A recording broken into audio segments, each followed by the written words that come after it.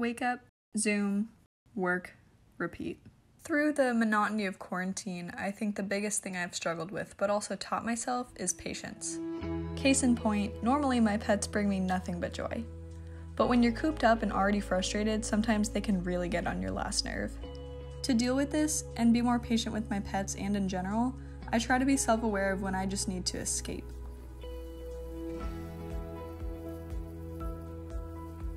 When I just need to go somewhere, like Mammoth Mountain, and release my pent up frustration through snowboarding with my friends. As well as just being goofy with my friends, exploring new sites. or if it's too busy for Mammoth, just playing tennis at the local courts with my boyfriend. So, overall, I would say that quarantine has taught me to deal with patience in a positive way. Other people, like my boyfriend Liam Campbell, a 24 year old USC alumni and content producer, don't feel the same way. Honestly, uh, I think quarantine has made me a less patient person. He said he finds himself being less patient doing even ordinary tasks like driving. Every time I drive and I'm in traffic, I am like going crazy. Uh, sometimes I yell at my steering wheel. He did say that having a new pet to look after during quarantine has helped with patience a bit. I think Malvo helps with patience because he's so soft and cuddly. It's like, how can you not be patient around a chinchilla? Like, even when he breaks out of his cage, he's acting like a crazy person, like a crazy chinchilla.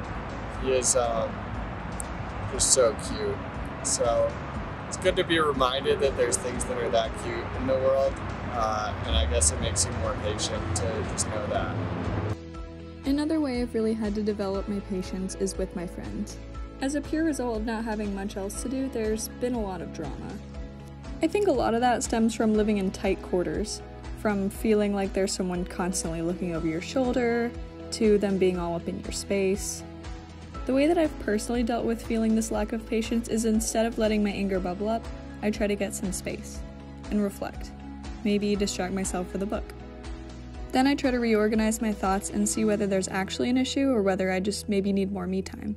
Once I've had my space, I can more easily talk problems out with people, or just recognize that I'm the one who needs to chill. So, with these various strategies that I've practiced during quarantine, getting out when I need to and taking personal space when I need to, I've been able to be more patient with those around me, including my animals.